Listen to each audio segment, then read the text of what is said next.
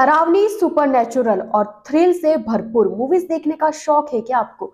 अगर है तो आज एक भयंकर थ्रिलिंग मूवी बताती हूँ आपको। अजय देवगन और आर माधवन जैसे मंजे हुए कलाकारों से सजी फ़िल्म शैतान, जिसके ट्रेलर के आते ही उम्मीद लगाई जा रही थी कि फ़िल्म में दम ज़रूर होगा। काले जादू, वशीकरण और अंधविश्वास की अलग ही डरावनी दुनिया में ले जाने वाले ट्रेलर ने सोशल मीडिया पर खूब प्रशंसा बटोरी थी। फ़िल्म शुक्रवार को रिलीज़ हो चुकी है।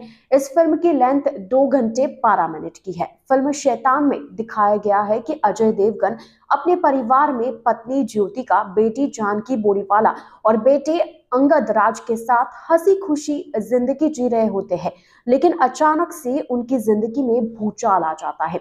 एक दिन वे छुट्टियाँ मनाने के लिए अपने फार्म हाउस जाने की प्लानिंग करते हैं और वहाँ जा रहे होते तभी रास्ते में एक ढाबे में उनकी मुलाकात आर माधवन से होती है, जो एक सरल और भरोसेमंद इंसान दिखता है।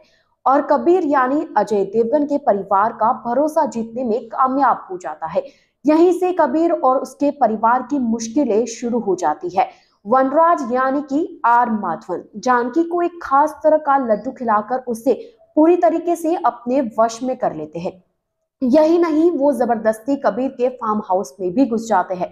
अब वनराज काले जादू के दम पर जानकी से जानलेवा हरकतें कराने लगते हैं। क्या कबीर वनराज के मायावी चंगुल से अपनी बेटी को बचा पाते हैं या नहीं? यही इस फ़िल्म की कहानी का क्लाइमैक्स और इसी तरह कहानी आगे रुख करती है। आर माधवन इस फ़िल्म के सबसे बड़े सरप्राइजिंग एलिमेंट है।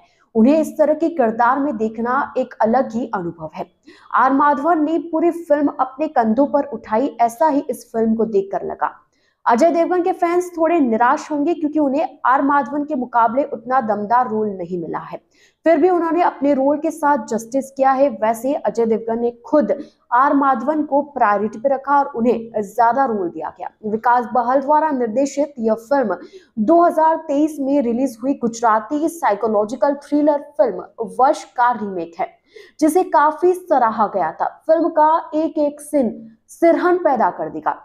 अगर आप सच में डरावनी मूवीज़ के शौकीन हैं और सच में आपको डरावनी थ्रिल सुपर मूवीज़ देखना पसंद है तो यह मूवी आपके लिए बेस्ट मूवी साबित होगी।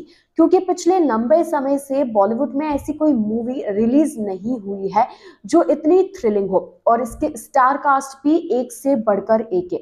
सारे ही मंजे हुए कलाकार है। और आर माधवन पहली बार एक अलग ही अंदाज में नज़र आने वाले हैं, वो शैतान के रूप में नज़र आने वाले हैं। और अगर आप आर माधवन, अजय देवगन ज्योति का जानकी सभी के फ़ैन हैं तो ये मूवी देखना तो बिल्कुल बनता है। मैं तो रिकमेंड करूँगी ये मूवीज़ ज़रूर देखनी चाहिए जिन्हें ऐसी मूवीज़ देखना पसंद है।